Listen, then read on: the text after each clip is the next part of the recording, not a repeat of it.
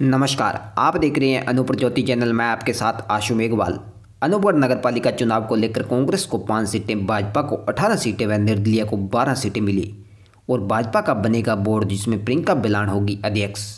Ward number एक में भाजपा के सुनील डाल, वार्ड नंबर दो में कांग्रेस की सीमा, वार्ड नंबर तीन से निर्विरोध भाजपा से विजेता रानी, वार्ड नंबर चार में भाजपा के ताराचंद वार्ड नंबर पाँच में निर्दलीय राजविंदर सिंह वार्ड नंबर छः में भाजपा के रमनदीप सिंह वार्ड नंबर सात से भाजपा की दापू देवी वार्ड नंबर आठ में निर्दलीय परमजीत कौर वार्ड नंबर नौ से भाजपा निशा बजेजा वार्ड नंबर दस से कांग्रेस राजू वार्ड नंबर ग्यारह से कांग्रेस कमला वार्ड नंबर बारह से निर्दलीय राकेश सोनी वार्ड नंबर तेरह से कांग्रेस सदाम हुसैन वार्ड नंबर चौदह से निर्दलीय सत्य प्रकाश वार्ड नंबर पंद्रह से कांग्रेस दीपक गोयल वार्ड नंबर सोलह से भाजपा परमानंद गौड, वार्ड नंबर सत्रह से सुखविंदर सिंह मक्कड़ निर्दलीय, वार्ड नंबर अठारह से राजेंद्र चलाना निर्दलीय, वार्ड नंबर उन्नीस से निर्विरोध प्रियंका बिलान, वार्ड नंबर बीस में सुरेश अग्रवाल और सुनील कुमार को मिली बराबर वोट।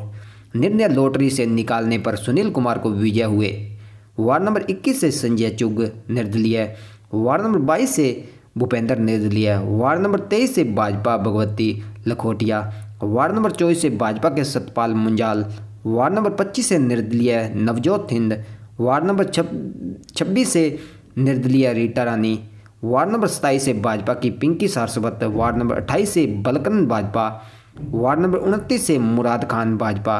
वार्ड नंबर तीस से राधा रानी भाजपा। वार्ड नंबर इकतीस से रीना खन्ना भाजपा। वार्ड नंबर बत्तीस से परमजीत भाजपा, वार्ड नंबर तैंतीस से भाजपा के कुमार गौरव, वार्ड नंबर चौंतीस से निर्दलीय अनिल कुमार, वार्ड नंबर पैंतीस से भाजपा, परविंदर सिंह विजय प्राप्त की।